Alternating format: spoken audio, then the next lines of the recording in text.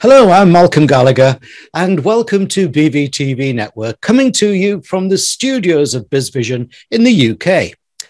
Daily, I read fearful news from around the world from so many different sectors of people losing their jobs, having a reduced future, or having to seek a new direction.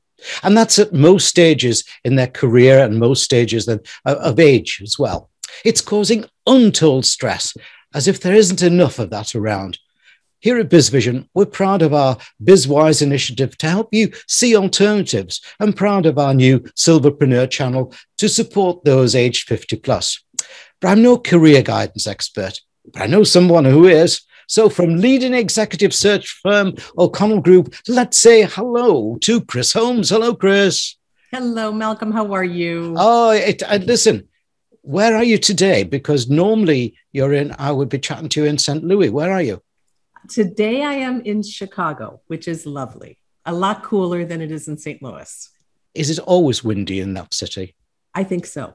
Yeah. Yeah. Okay. Especially by the lake. Yeah.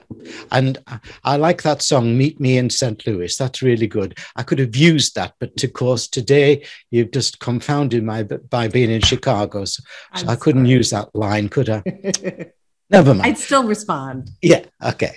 Kris, this pandemic and the economic woes have affected every age in almost every sector in almost every part of the world.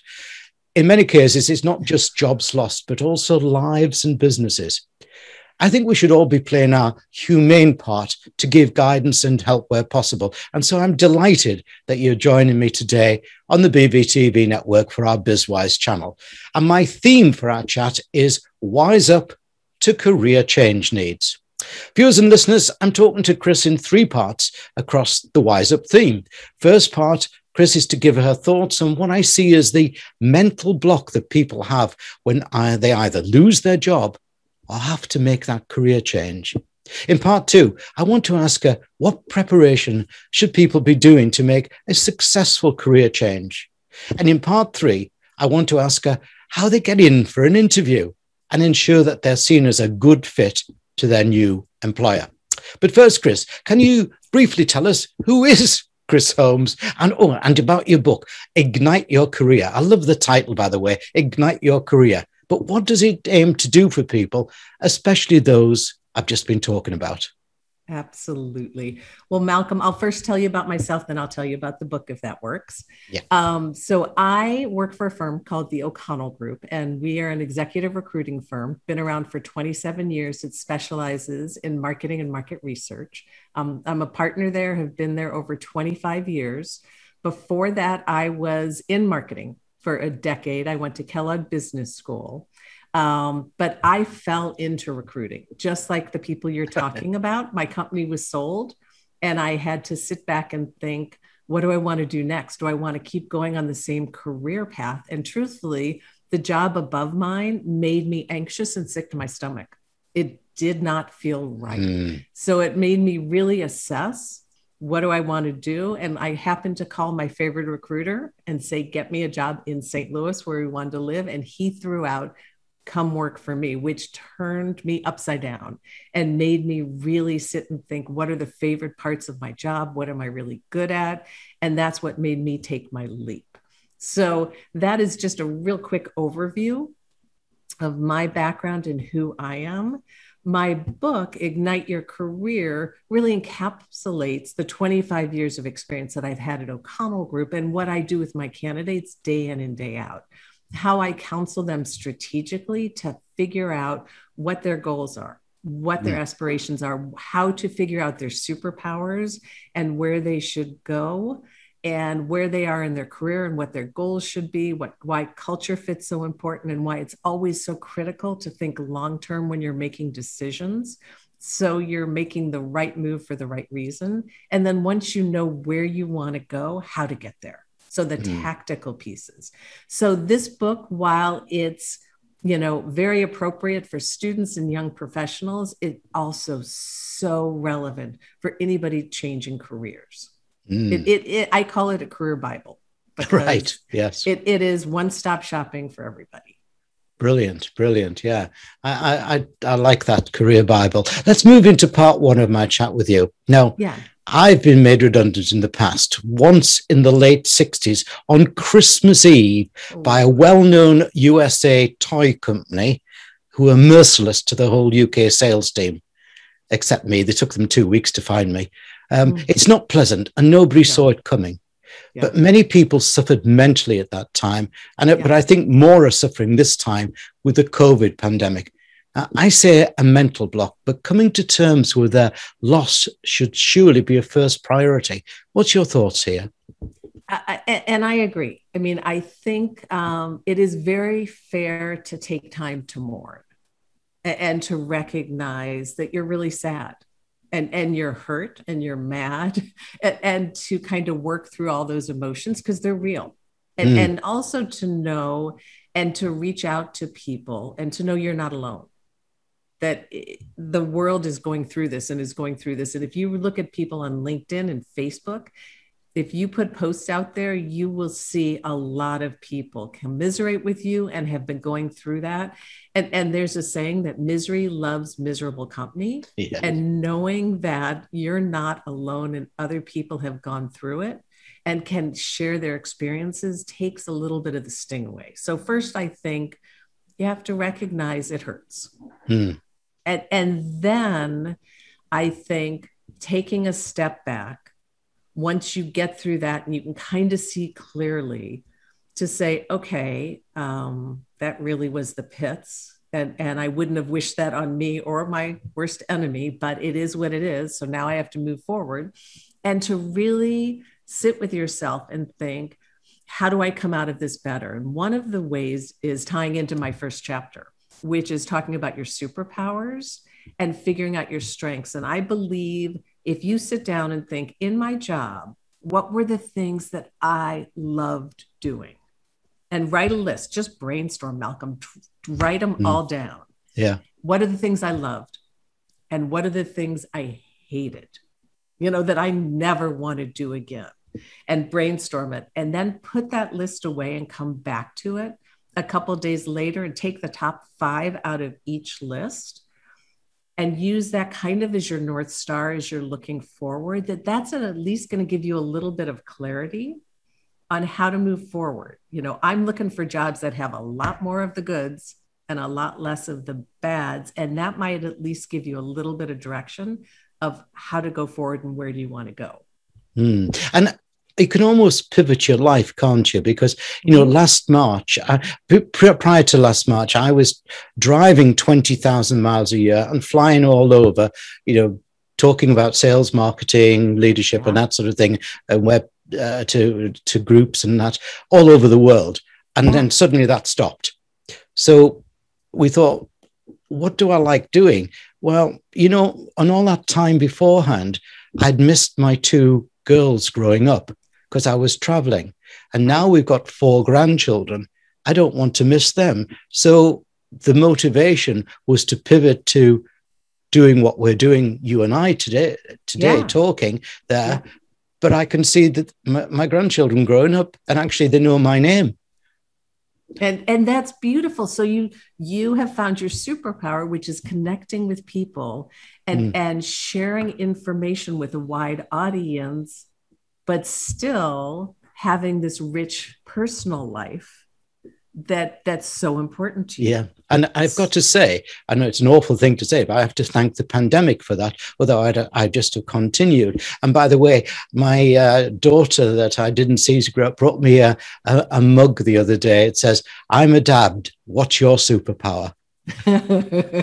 that's great yeah. But I, I do I, think the, yeah. the, pandemic has some silver linings. And I yeah. think that's mm. the other thing. It's like sitting back and saying, okay, what good has come out of this? Yeah. And what do I want to keep? What are the parts that, even though there is so much bad and uncomfortable, mm. what are the good parts that actually were forced upon me that I don't want to lose. I think that's the other thing. Yeah. Are your clients, um, uh, many of them actually pivoting or do they want to replace like for like? Uh, so my clients, it's really interesting. Um, in the world of marketing and consumer packaged goods, mm. business during the pandemic boomed because people needed food and cleaning yes. products and everything else.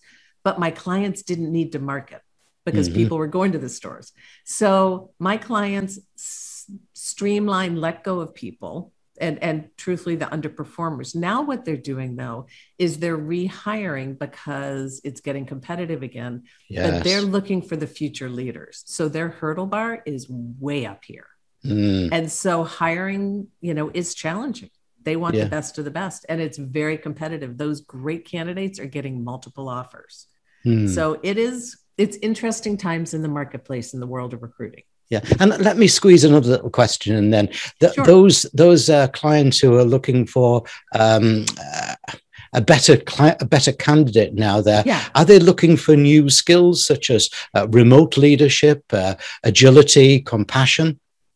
Yeah, they really are. So um, it's interesting. Leaders were born during the pandemic and and i think if you hit the nail on the head the leaders that really stepped up and showed agility showed that they can bring the team together even though they were remote mm. that they could onboard and teach people and keep them motivated and engaged and all those things um, and that they could lead through these really challenging scary times those are the people who rose to the top and yeah. there were other people who had been leaders who who really froze mm. and and so i think as companies are looking especially for the very senior leaders that is a skill they're looking for because who knows when the next pandemic or crisis is coming and and that is a skill that is going to be requested and looked for and you know evaluated as they move forward yeah. for all companies mm. it, it used valid it used to be said that the only constant with cha- was change. I think we can say the only constant is disruption now, isn't it? Yeah. Yeah. I mean, who would have thought a year and a half ago we would mm. have just lived through what we lived through? Yeah, yeah, yeah. And I take very much of the point that you said about people up in their skills and everything, because um, since March 2020, uh, I've I've interviewed over 500 CEOs, MDs, executives around the world yeah. uh, for our BVTV program, which is quite a, quite a lot, you know. Um, yeah. yeah. but um, when we started off, there were CEOs and MDs who couldn't possibly come on screen without a PA to the left and a technical person to the right, and were panicking about whether you know somebody could see that they had the wrong book on the shelf. yeah, know? and you know, and and they were so cold and so um, uh, the lack of lack of warmth to their people that you yeah. could almost feel that they were going to the ones that would drop off the edge. Yeah. And then the yeah. new a new a new a new breed emerged, you know, towards the end of 2020, who were happy that you could see that their child was running past, the dog was barking, you know, or, or in one case, his wife came down the staircase behind him in a see through black negligee. But we'll never talk about that one, will we? Well, it's funny. This morning I woke up, you will appreciate this, and my microphone all of a sudden was not working. So I had to call my tech folks. And my husband and I are here, and he opens the door, and I'm like, honey, I am on Zoom. Make sure you have clothes on. Yes. and the door closes. I'm like, just uh, it's like a whole new world. Yeah. Well, it's true. I had a CEO of a not-for-profit company talking to me from her bedroom one day, uh, one evening, and her husband walked in naked. But yeah. let's move on, should we? Before but before we move to part two, let me yeah. just remind everyone of your. Uh, actually, that, that was a lovely little side conversation, by the way, talking how life has changed. But let me just yes. remind everyone of your URL, your website uh, for your book, which is obviously, re, uh, you know, viewers you can see on the screen behind me, but we've got listeners as well. It's Ignite, Ignite Your Career Book, ignite your career igniteyourcareerbook.com. And the company website is O'Connell. There's no little apostrophe between O and Connell. It's o'connellgroup.com. That's a good. Irish name like Gallagher. Viewers can see it on the screen again behind me, but let me just spell all of that out for listeners. Igniteyourcareerbook.com and go and have a look at o'connellgroup.com. Right. And Malcolm, one yeah. thing I will tell you is you can get the book there as well as we ah. offer services like resume writing, interview prep, negotiation, and coaching. at that site, yeah. which is you know the same thing we offer our candidates. So yeah. it's a great site. And and you know, don't use your old resume that you had three four years ago. I think is important, isn't it? Yes, very true. Yeah, right. Part two, we've wised up to the need to move forward. I now want to ask you what preparations should people be doing now to make a successful career change? All right. So we talked in phase one about figuring out your superpowers, figuring out kind of where you want to go. I think the other thing that's really important is if you're going to transition to a new field, is recognizing your skills that can transfer over. So, mm-hmm. you know, the things that you have done project management, analysis, leadership, all those things. You're not starting from ground zero. So, making sure you understand what those are. But then the key is writing a world class resume.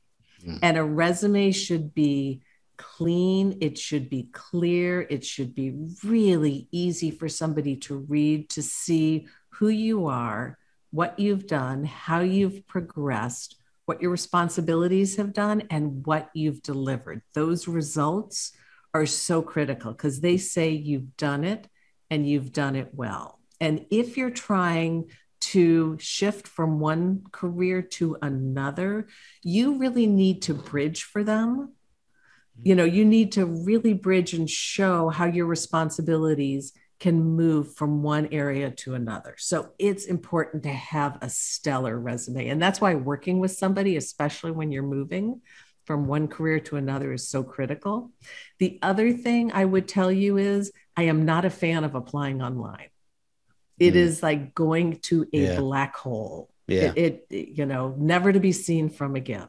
So if if that is the only way you can apply, make sure you look at the job description and the keywords. And if you've done those things, put as many in your resume as possible because companies use artificial intelligence and that will help you rise to the top so a human can look at your resume. But I believe much more in networking. So mm-hmm. via LinkedIn and people you've worked with in the past, who do you know that might be able to deliver your resume to somebody? You always should have a couple great recruiters in your corner that you can talk to, get advice, see if they know senior leaders at the companies you're interested in where they can get your resume in. Yeah. Or friends and family or people from your high school or college. That's the other way that are in your industry. So, networking, all those different ways before you apply online is a much better odds and chances of success applying. But none of it will work if you don't have a powerful resume. Excellent. And uh, this might cross over into my final question, but I, I really want to use your terrific experience here. Yeah. You know, we're, we're talking about there about what you've done, but surely companies today are looking also for who you are. Yes. And and who you are comes through much more, I think, in the actual interview. Mm and right. and i am a huge believer in doing a lot of interview prep mm-hmm. and getting to know yourself intimately in my book there is a long chapter on interview prep and it gives you the steps to get to know yourself intimately to do your homework on yourself to do your homework on the company and differentiate yourself so that you can score but i agree malcolm it, it's and and I have a saying: you have to woo and wow. The wooing yeah. is connecting with whoever mm. you're talking to, so that they walk away saying, "Malcolm is great. Not only you know do I like him, but man, I'd love to go have a beer with him. Mm. You know, I, he just fits, and I would love to work with him." The wowing piece is Malcolm is great, and I think he could deliver great results on my team. Mm. If you don't woo and wow, you won't get the job. So mm. you have to do the one two punch. Yeah. And I can do lots of wowing today because it really stands for Wicked on Wednesday. And you know what day we're in having this interview? now, look, my final part, Kris, is to hopefully yeah. get some getting the job secrets from you. And after all those years, you've got lots and lots of little secrets, and we need to bring them out. Uh, and don't forget, everybody, igniteyourcareerbook.com, igniteyourcareerbook.com. Uh, I think companies, as I was saying before, have had their own big change in recruitment as a result of the pandemic. I think they're seeking people with some additional, and I hate the phrase soft skills, but soft skills such as consciousness, and want that to be evidenced. Um, uh, hopefully, I'm right, but how do you do it? How should people go about getting the job in this new and altered world?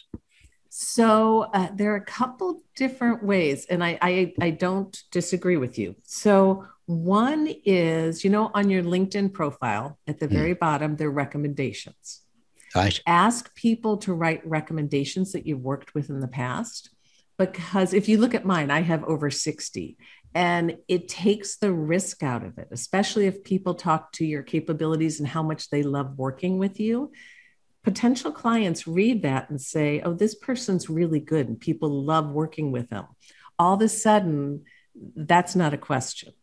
The other thing is, as I was talking about networking, if somebody within the company advocates for you, says, I used to work with Malcolm and man, he's a great guy and he would fit with the company, that endorsement is huge and yes. will get you a day in court. It's not going to get you the job. You mm. still have to deliver, but it will get you a day in court where you're going to get a chance to interview.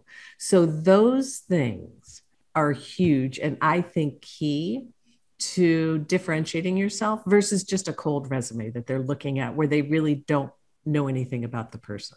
Hmm. Um, do you think we've yet moved towards having video testimonials, you know, uh, of, of any power, or are they considered a bit glib? I think it's interesting because I'm about to test a video, um, a video technology uh, where I'm going to be interviewing my candidates instead of writing them up. So we'll see. I think. I think it's going to depend on the person's capability to mm-hmm. come across as human versus salesy. Right. So I, I, think it'll be dependent on the individual whether they'll be impactful. Mm, yeah, I, I, was thinking of the um, testimonial, you know, from a, uh, should we say, a former employer. Uh, that could do it. Yes. Yeah. Um, or if you have, you know, somebody who knows somebody mm. who writes a note to the VP at a company saying, Hey, I know Joe's sent his resume and he used to work for me. These are the reasons I think you should talk to him. That's mm-hmm. huge too. So, any of those things where somebody who somebody trusts endorsed you, endorses you, that's that's big. Okay. Just um, remind us what we can get the o'connellgroup.com. Um, o'connellgroup.com, if you're in marketing or consumer insights, we're the place you want to go. Right. Great resource for that. If you want help with your career guidance um, or resume writing, interview prep, negotiation, you want to go to igniteyourcareerbook.com. Independent of the industry, we've helped people from in college all the way to chief marketing officers looking for jobs. It doesn't matter where you are in your career or what industry you're in, we can help you get on the right path and would love to. Mm. Uh, I think, Kris, this is such an important uh, discussion we have that we'll have to do this again sometime. But can we meet in St. Louis next time? Uh, please. Um, I'll start. I'll start practicing. I can't sing, you know but um, uh, and and the other the other day i was interviewing a, a multimillionaire and his his uncle um, was bing crosby. So maybe i can maybe i'll get some oh. mix yeah. Uh, look nobody wants to lose their job especially one they love. Nobody wants a career change forced upon them but we live in uncertain times and challenging times. I trust my interview with the author of ignite your career and partner of o'connell group Kris Holmes has given you the right motivation and inspiration for your future. Thanks, Kris. Thank you, Malcolm.